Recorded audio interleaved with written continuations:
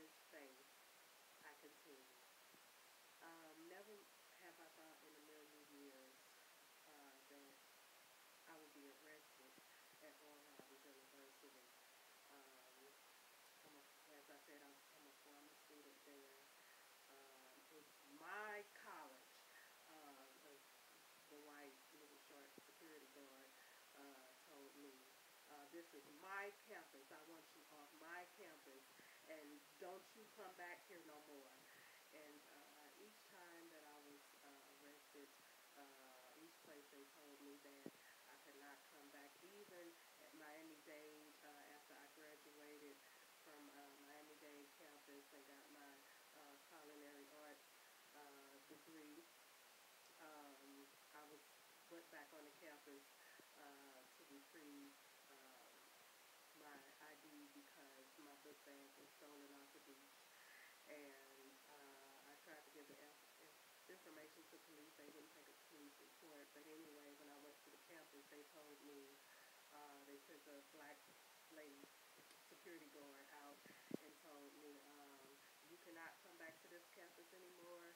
If you come back, I'm going to have you arrested for trespassing. Does that make any sense? I mean, it's just uh, been a, a nightmare. Um, I um, when I got home um, from Oral Roberts uh, University, uh, the incident, um, I was uh, devastated and traumatized because uh, they took me in the back of the jail cell and uh, they tried to put me um, in a blue dumpster. This was under the car parking garage.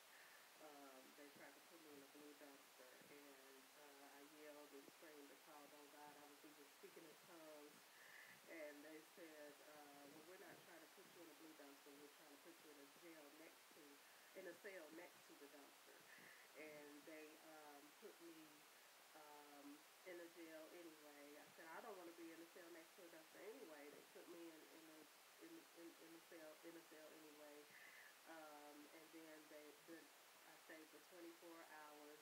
Um, they put me in a black and white um, uh, suit, and um, then they the next morning they chained my legs, um, had my legs in chains, and had these horrible, painful handcuffs on my arms, uh, on my uh, hands, and then they uh, put me in a black van with black tinted windows and uh, drove me way over to Okmulgee um, jail cell.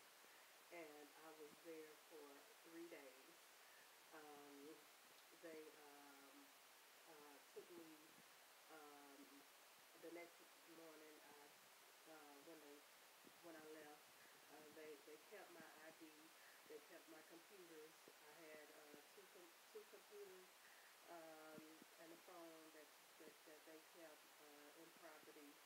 Um, so they uh, they had all of my my uh, flat irons and uh, bath stilettos, three bath stilettos that I had, and uh, for for uh, ministry and for um, singing and stuff. And so uh, when I got um, back to the campus um, after I, I after they I got let out of jail.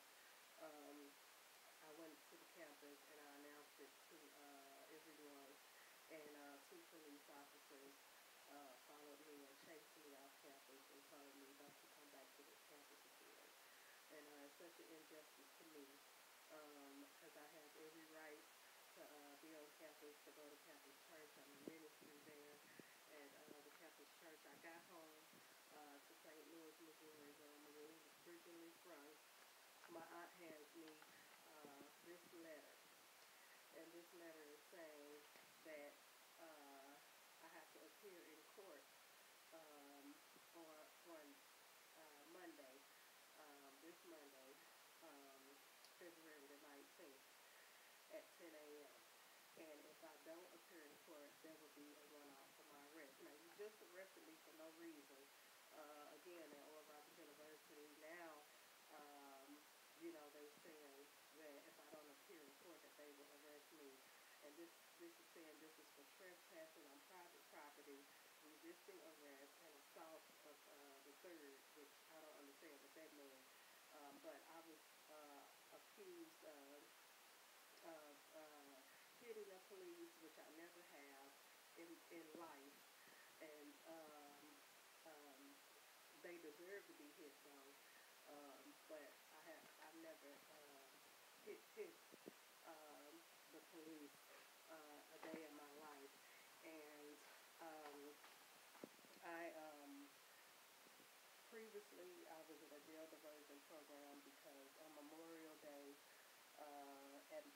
function. I had called uh, a conference and uh, for a play out in South Beach uh, while I was just chilling on the beach. I thought I have my uh, project